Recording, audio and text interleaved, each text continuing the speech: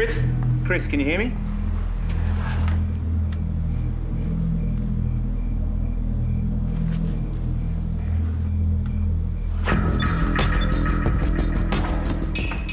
I need an ambulance. My name's Rhys Lawson. I'm a doctor at Erinsborough Hospital. I've got an 18-year-old male. He's unconscious with a suspected pneumothorax. He doesn't have 10 minutes. He's shutting down.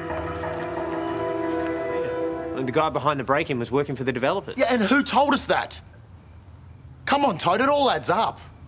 Mate, it's a law firm. I saw him. I was at Noonan's office this afternoon, and this guy walked straight in for a meeting with your boss. Are you sure it's the same guy? I know what I saw. And cameras don't lie. You can see him as clear as day. Have a look if you like. That's a shame. Hmm, early morning client, apparently. Oh, it doesn't mean you can't go out. I mean, dressed like that demands to be shown a good time. I can't go out on my own. Why not? Because I'll, I'll look desperate. Ah, no, I do it all the time. It's fun. You get to sit back and check everyone out. Nah, it's not really my thing. Surely there's someone else you can call. What about you? You know, it's about time we got to know each other. Well, I was going to wait for the boy. Well, just write him a note. Tell him we're having a girls' night out or something. Or are you... Are you one of those girls who has to do everything as a couple? Oh, you are so on. Mr. Rebecchi, Superintendent, how can I help you? we'd like to come down to the station to answer some questions regarding a recent incident.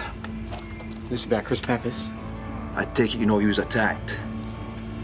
He's been taken to hospital in a critical condition, which, as I'm sure you'll understand, makes our inquiries all the more urgent. Yeah, sure. Sure, you don't mind if I go? They just want a statement or something? This is not a request, Mr. Rebecchi. We want you to come to the station regarding some serious allegations that have been made against you.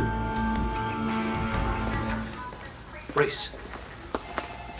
Pretty risky. Attempting a decompression on the spot. I had no choice. If you'd seen those x-rays, you would have done the same thing. Yeah. Emergency procedure in a situation like that can leave you wide open if something goes wrong. I was on the spot and I had to make a decision. I sterilised as much as I could. Rhys, anything could have gone wrong. But it didn't, did it, Carl? What do you want me to do? Let him die? Hopefully it'll all work out.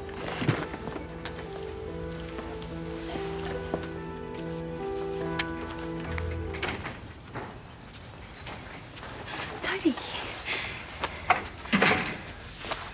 You better sit down.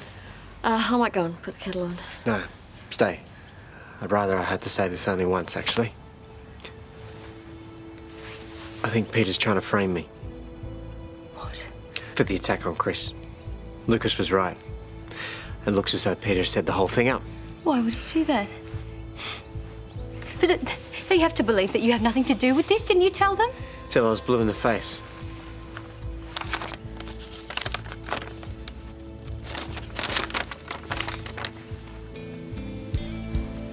Charged on summons.